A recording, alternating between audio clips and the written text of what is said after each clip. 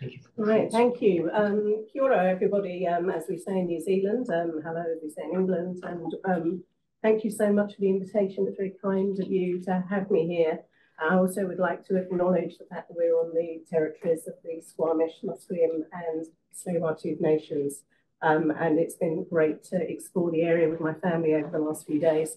So I thought um, what I'd do today over the next 40 minutes or so is to sort of look at the recent and over the last 10 years or so literature of both vulval cancer and its precursors, and to think about how that shapes our practice, and um, also to sort of see where we should be going from there, and then to talk a bit about what we do in Auckland, because we have changed things probably over the last four or five years based on a lot of the evidence that I'm going to present to you today.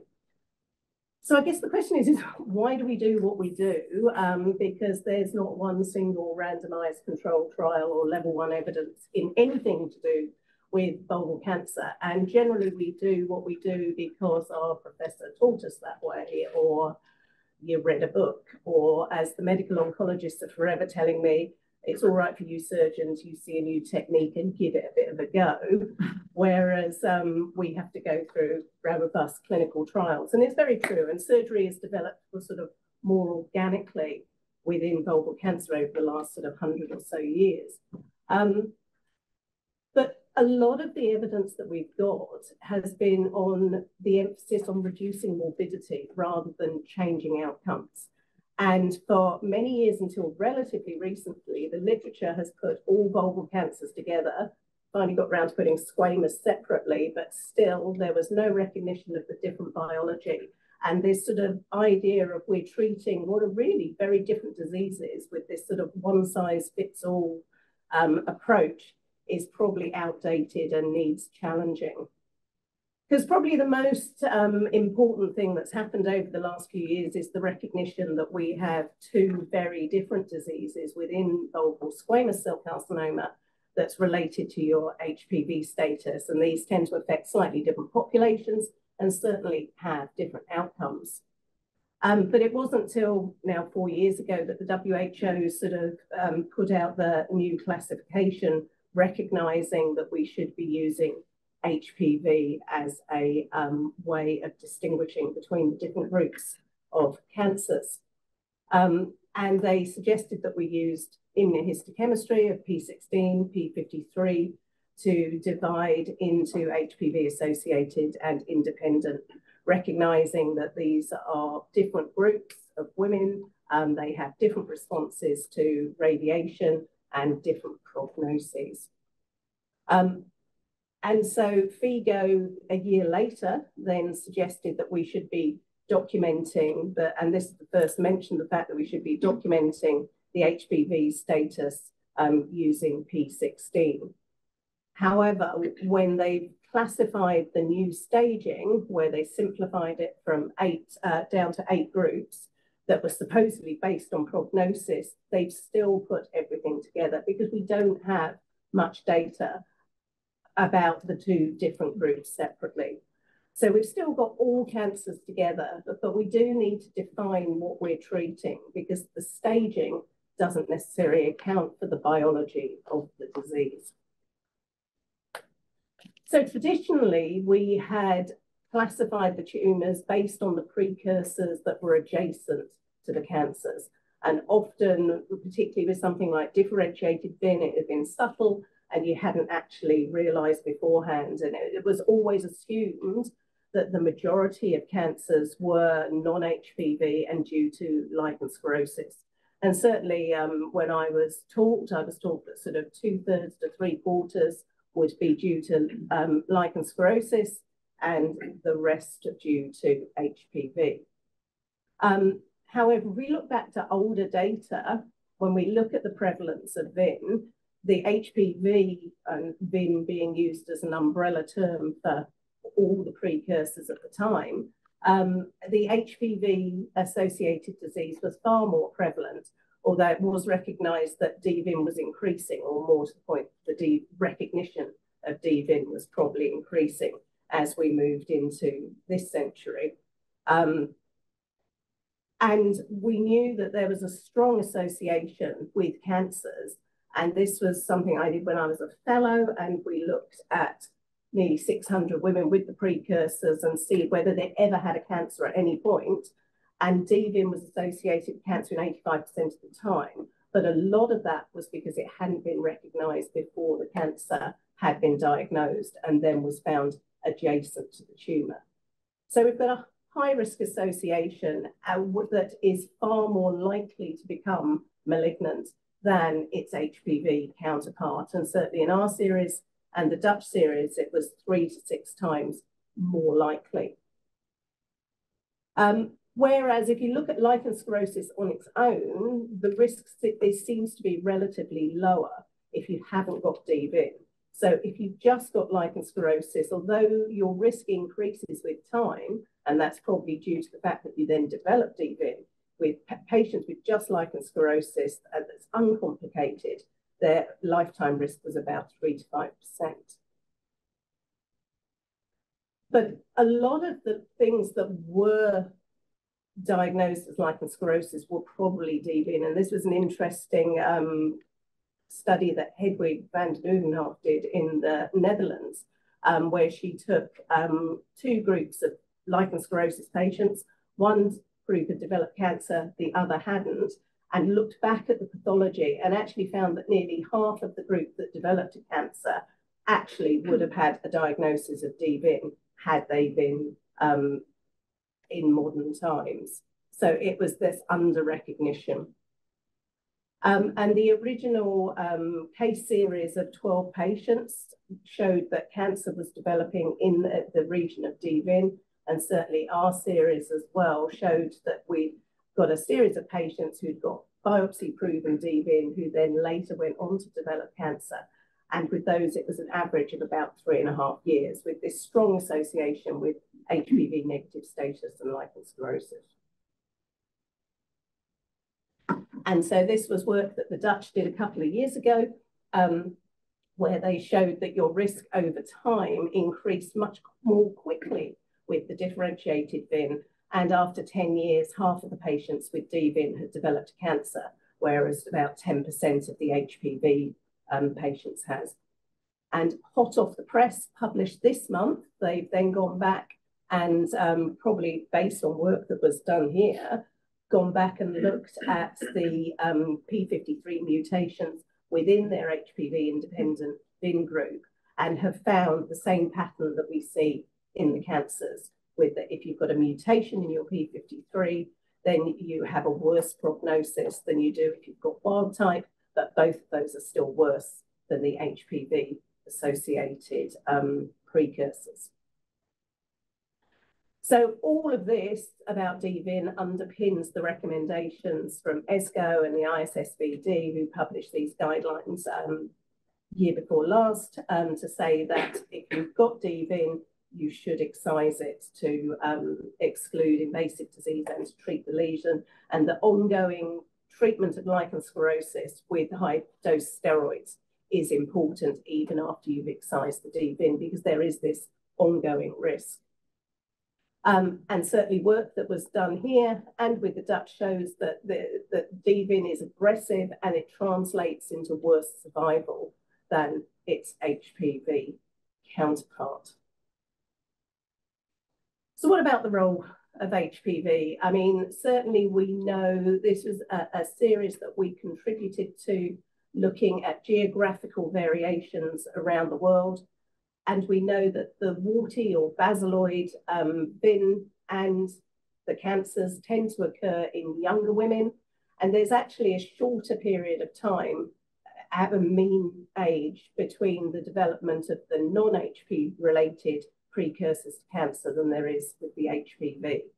But also we've got, um, say, geographical variations around the world and your proportion of what's um, HPV related and non-HPV related disease will vary depending on where you were in the world. And where are we? There we go. Um, and this was some work, this was the, the subgroup of that bigger global study that was New Zealand data where we looked at the incidence of HPV prevalence within the precursors. And as you can see, 95% of our, what we call VIN, was HPV related. But when we got down to looking at cancers, the proportion had changed enormously. And they were about half and half, with sort of only just slightly more than half of the HPV independent cancers. So that again backs up the, the theory that your HPV independent um, precursors are far more aggressive than the others. And when we looked at the genotypes of these, what was interesting, of course, 16, 18, we all know about, but actually within the New Zealand population, we'd got 31, 33, 45, and they're important because they're the ones that are in Gardasil 9. And we've been vaccinating boys and girls with Gardasil 9 for some time now. So it's possible that we will get rid of HPV related cancers. And therefore, we should be focusing on these independent cancers because vaccines take care of the rest. We don't need to worry about them. So that's it. So if we look at the independent, HPV independent precursors, and there was this mm. sort of variance within that group, um, as you know, work from here has recently um, changed the way that we think about these, based again on the P53 mutation, um, that shows that you've now got, rather than just the two, uh, negative and positive, we've now got a difference between the P53 mutation within the HPV independent group and the mutation and the wild type groups do behave very differently as well. And certainly we move to using this classification uh, R unit now. So it's given us a new direction of the way to think about vulvar cancers. And now instead of saying, right, yes, we've got the two groups, we probably should be looking at it in terms of the, the three groups. And we know that, that we've got this intermediate group now with the, the wild type. And the Dutch and the Germans have, have pr produced data that, that is consistent. And we see the same pattern across these studies. Um, however, we are still reporting overall incidence as one group. And if you look at all the studies that compare incidence throughout the world, none of them divide them into two different groups. And there's always this assumption that, that the incidence is either stable or increasing, and it's being driven by young women with HPV, and that older women present later, they're not fit enough for um, such radical treatment, and that's why they do worse. So in order to sort of try and explore this a little bit, um, we did a big review that was actually started by my predecessor, Ron Jones, and um, seemed to go on forever, largely because Susan, I think, had to plough her way through over 6,000 slides to reclassify a lot of these tumours. But um, we looked back over a sort of nearly 30 year period of consecutive cases um, in our centre. And as I say, we treat half the vulval cancers in the country. Um, we categorised them based on their precursor and then um, looked at incidence and then survival. And we had two different cohorts. One was included in the incidence um, and etiology side of things. And then the second paper was looking at the survival analysis. And we excluded all the people that we didn't have disease specific data on before 2000. So since 2000, we could get the cause of death from the um, death registries. So they were included in the second group. And we found that actually people were presenting at roughly the same stage the whole way along. The majority of people will present with early stage disease. Um, so that hasn't really changed over time. So we're not necessarily any better at picking it up earlier than we were 30 years ago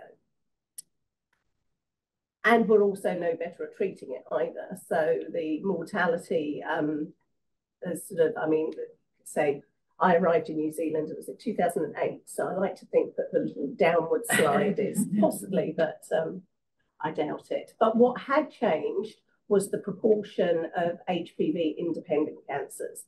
Previously, we had the traditional two thirds, as we've always been taught, but actually it had changed and we've now got 40% in the later part of the cohort. So the majority of our cancers were then HPV related. And part of this is probably due to the fact that sort of, I'm going to talk later about the, the vulval service that was set up in the mid 90s in Auckland and the use of topical steroids for lichen sclerosus that also came in in the mid 90s that may have accounted for some of these changes. But what was interesting is if you look at the graph on the left, if you look at the total, it didn't look like the etiology, uh, the incidence had changed at all.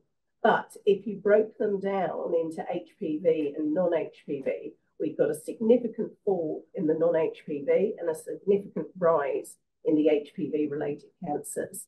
And on the graph on the right, it was actually the older women that we'd got the significant increase in HPV-related cancers not in the younger women, which is what everyone has always assumed. So it's obviously the people who'd had been HSIL sort of 20 years ago are now developing. So we're seeing that sort of change in behavior from 20, 30 years ago is now translating into more cancers. And certainly anecdotally, I see a lot of women in their 70s who've never had anything who suddenly present with an HPV related cancer, which we weren't seeing 10 years ago. So that has changed. Um, and then when we looked at all stages together, the HPV independent, independent group had a 25% worse five-year survival compared to the HPV group. And as we said, if we continue to put everyone together, we're going to miss some of the nuances within these groups. And actually, we should be registering these separately. And as a result of this, we've now changed how we register patients on our MDM records to be HPV independent or HPV associated rather than just squamous cell. So we then went on to look to see, to test the theory that actually these HPV independent ones were doing worse because they were old women, maybe they weren't suitable for treatment, maybe they were presenting later um, and at a higher stage. So the objective the second part of the project was to, to look at that.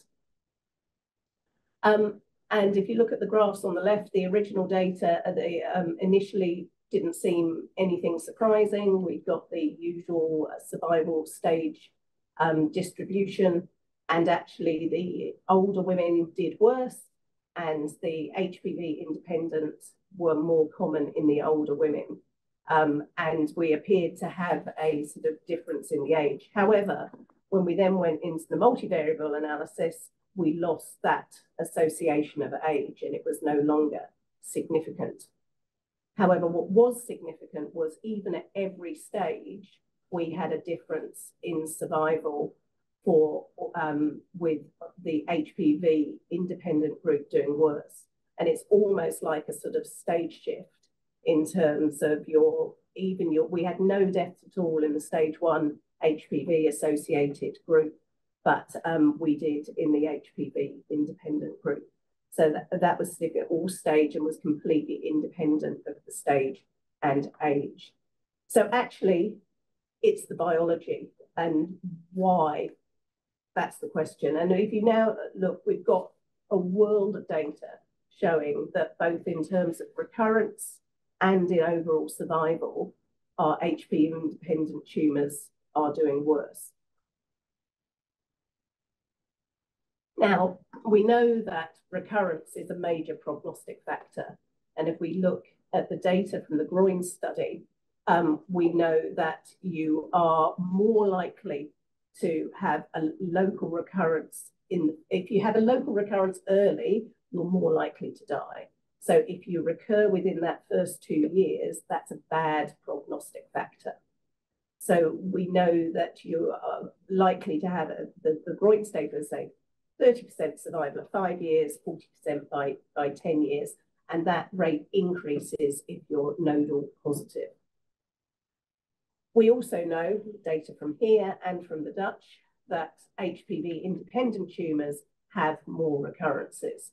So you already got this sort of bad prognostic feature and that they tend to recur earlier than the HPV independent uh, associated group. Um, and we showed uh, from our data in Birmingham in the UK that yes, you've got a much higher chance if you've got a tumour with a background of differentiated VIN, you are more likely to get a recurrence, but you're also more likely to get multiple recurrences. So you don't just recur once, and certainly you see anecdotally, we have these women who recur five, six, seven times um, on the background of differentiated VIN. And we also know that the HPV independent tumours, again, data from you, and um, shows that we've got more radio resistance with the HPV independent group. So this idea of we sort of sterilize the field with close margins and that sorts it out is a complete misnomer because most of these are in-field occurrences. So we moved away as a result of this from irradiating HPV negative patients because it didn't seem to work. Um, and certainly I would say this is true for our unit in the fact that recurrent HPV independent vulval cancer is probably our most common indication for pelvic exenteration these days, and we do more vulvas than anything else. Um, so Paul Cohen uh, is a um, professor in Perth, and we sort of did a review looking at see if we can try and work out well to, well, to review the literature surrounding the sort of differences in the molecular classifiers. And as I say, there's suggestion, the evidence does show that we've got these underlying different molecular authorizations in the precursors that are probably accounting for these differences in biology. And certainly that it continues into the, the cancers as well. And this was some of the early work from the Dutch, looking at, if you look at the sort of top line of HPV on the graph, you see there's relatively few mutations in the group that um, were HPV positive, whereas a lot more mutations in the group that are HPV negative. And this is true for both the precursors and cancers. And then if you divide the P53, which seems to be one of the most relevant ones, into the wild type and the negative group, as we've shown before, it impacts on your recurrence. So we'd seen the graphs before showing survival, but this is also true for recurrence. So you're more likely to get a recurrence with a P53 mutation. And you, the um, Dutch also then showed that using immunohistochemistry of P16, P53, you can classify this group and it's both the recurrence um, risk and your overall survival that the P53 mutation group are definitely an outlier compared to the other two. And actually the wild type group performed in a very similar way to the HPV positive group within this series. Um, and molecular markers, again, if you put your P16 and just do it without looking at HPV itself, um, you've got the same um, patterns emerging in virtually every study that's looked at this. And your group here has also then looked at other genes and found that there are differences between them. so the Austrians then went to look at whether you were more likely to die early if you'd got a mutation, and the answer was you were. And again, the wild type behaved in a similar way to the HPV associated group, whereas a third of the P53 mutated group were dead by 12 months. And in actual fact, their time to recurrence was half that of the wild type group as well. And what was interesting, I thought, in this paper was that the recurrence with it, that have occurred didn't necessarily have the same mutation. And if you started off with a wild type mutation, you norm uh, uh, with a wild type P53 in your original tumor, if you recurred, there was often a P53 mutation in the recurrence. So they did mutate with different genes, which shows that you've got this sort of chronic inflammatory dermatosis that's genetically unstable. So when we're talking about recurrences, we need to distinguish between the types. So you've got a true local recurrence, which is your original tumour and your recurrence is the same cells from your original tumour.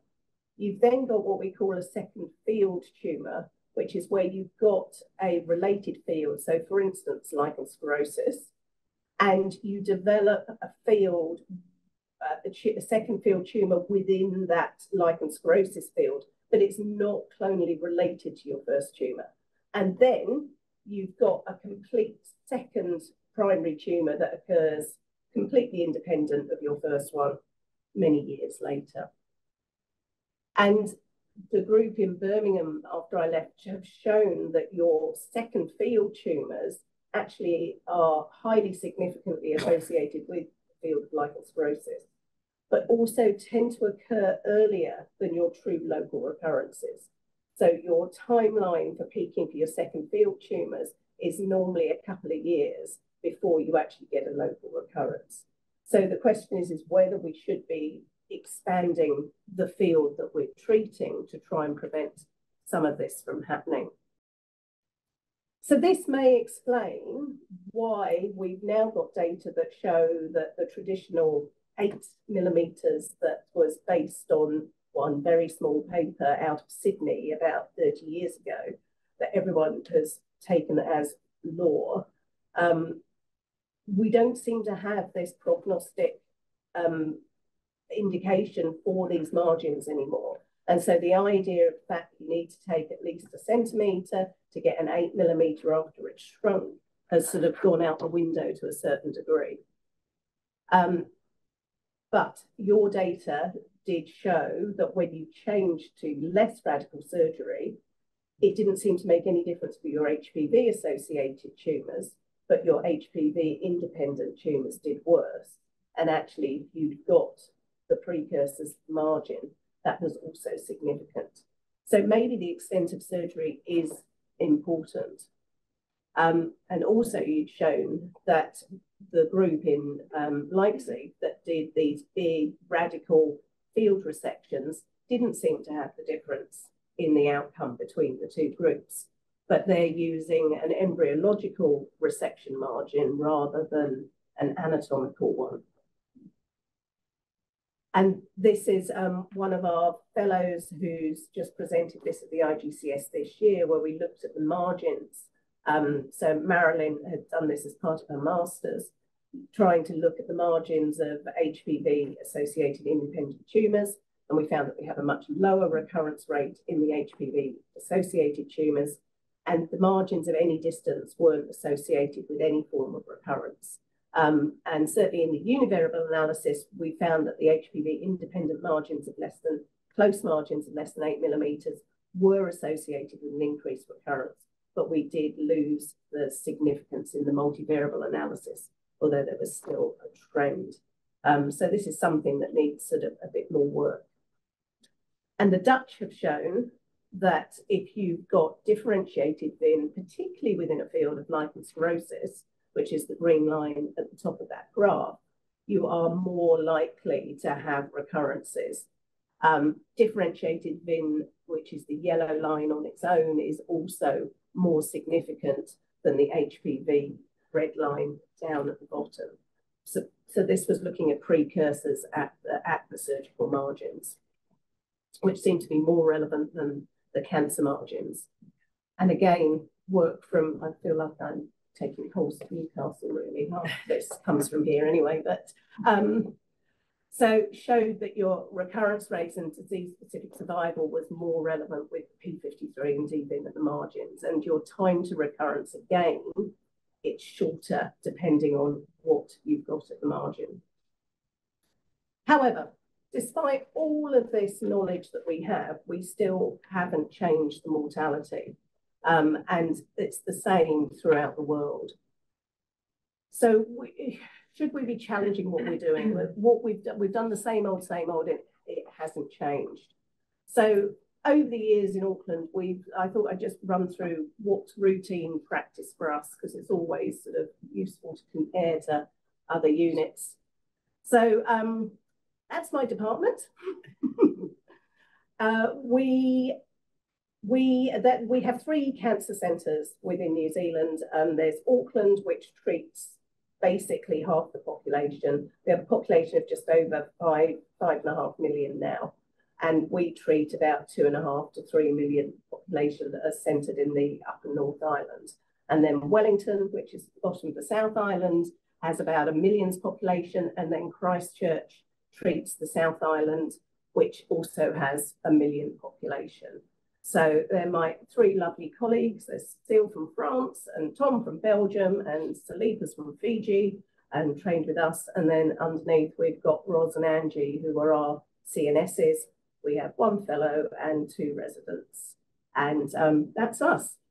So we also have the lovely Taryn, who is the um, colposcopy charge nurse. Who so Ron Jones established the regional vulval clinic in the mid 90s, and so a lot of it's in the located in the colposcopy unit, and we have two to three vulval clinics a week.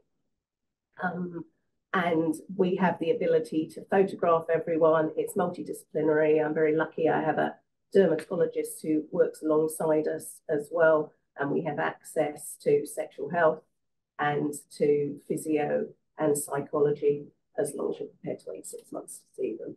But um, but most of the patients were certainly all the pre-invasive disease will come through this unit, and some of the cancers come through as well, or they come through the gynae um, referral system. And in terms of our clinic documentation, this was um, designed by Darren Rowan, who was the previous dermatologist who was there. So it's all paper, uh, well, it's paper, but then goes into an electronic record. And we also use the um, quality of life scores. So this was a publication that was developed in Australia and uh, the patients were given it in the waiting room and you get a score out of 45. So you can instantly see as they walk in, sort of if they've got very bad symptoms or minor symptoms, and you've got a quantitative measure to score them from from each visit, to, so you can assess your um, treatment. Um, and this was published last year, and this is roughly what we've been doing for the last five years. So it was quite nice that ESGO validated us um, in the fact that the, with the margin data, we'd stopped doing going for the, the massive resections to make sure that we've got um, one centimetre histological margins of it. And we have been um, tailoring resections to include the cancers and the precancers. And as I say, the optimal radicality does remain to be defined. Um, in terms of what we do in theatre, um, everyone is photographed and there's a camera in theatre and the photos are then uploaded onto the electronic record. Um, there's diagrams, there's also the, the, written diagrams that get uploaded onto the electronic record that includes details of both resections and reconstruction. And then all our specimens are pinned out onto a corkboard. We put the paper towel underneath so that the formalin um, keeps the pathologist happy, and they go off down to the lab. So we've got a photograph of what the specimen looked like in situ and, and what it looks like on the board. So when the pathologist reports a margin, I go, well, where is it? And they go, there. There you go, okay, fine. We need to go back and re, re get that bit. Um, and so we tend to photograph before and after so that the nurses have also got a baseline photograph of what it's meant to look like when it falls apart a week later. Um, and we also document sort of the pre-invasive, so we tailor, so you've got a big tumour on the left, pre-invasive disease on the right, and so we would um, document what we've resected where.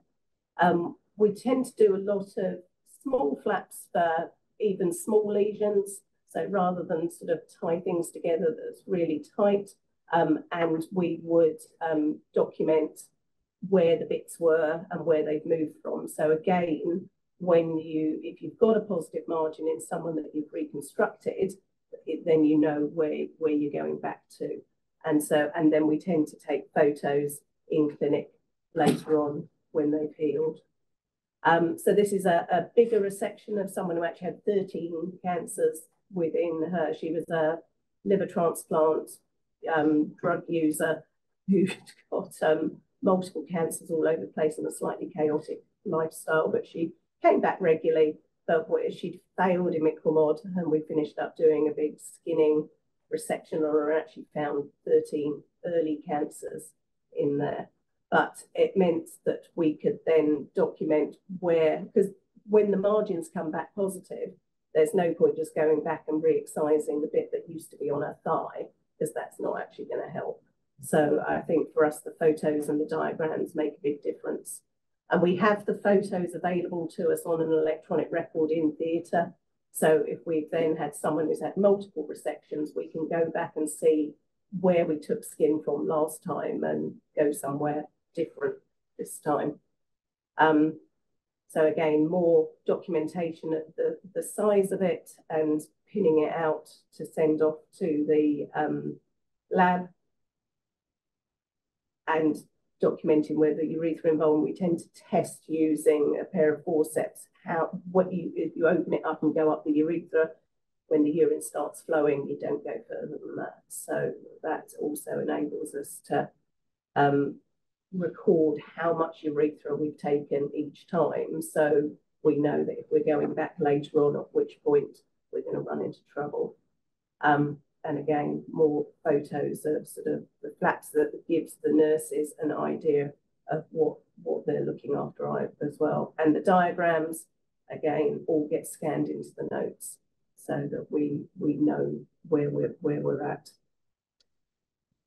And it is a team sport. Um, our nurses are brilliant. I mean, they start in the clinic. So, I mean, generally, if a patient is referred to us by the Friday. They're, all patients go through our MDM, so they're discussed the following Wednesday, and we have a telehealth, um, well, it's a video conference to the eight referring hospitals that come into our centre. Um, and so if there's a patient that we need, so all the path and the imaging is reviewed, and then we'd see the patient the next day, and then they're normally given a date for theatre within a couple of weeks after that. But we've got the anaesthetist in clinic, we've got the nurses in clinic, and they will go through all of a, a, needs assessment with the patient if they need care, if they're coming from around the country. They talk about the wound care afterwards. And the most important thing is that they have the nurse's phone number to contact them if they've got any problems. And even after we've sort of discharged patients or mm-hmm. sort of they're on follow up, they have uh, a number that they can bring that if they've got symptoms, we will just see them straight back and they don't need to go back through primary care to be referred. Um, the nurses use a lot of photos as well. So if the wounds break down, when the wounds break down, they can document the depth of it and what they're packing.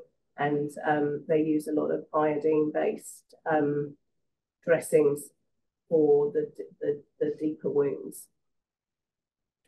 And um, credit to Ros and Claudia, who was our previous CNS, they've just written the vulval chapter for the IGCS um, nursing program. So there's a lot of the information and a lot of photos, etc., that they've put on there, and we've we've just finished that. Um, in terms of follow-up, uh, about five years ago, we started changing our follow-up when we realised the HPV-associated ones were much um, less likely to recur. So they, uh, we see them for five years and then they're discharged, whereas the HPV independent ones we keep for life. And um, most of the patients at our post-op, we'd see them back, but we'd write to them or phone them with their results after a couple of weeks. Um, all the lichen sclerosus and the dVIN patients get restarted on dermol as soon as they're healed. And as I say, the most important thing is the fact that if they develop symptoms between their visits, they contact the either Gynecologic CNS or Taryn with the expectation that we will see them in clinic within a week.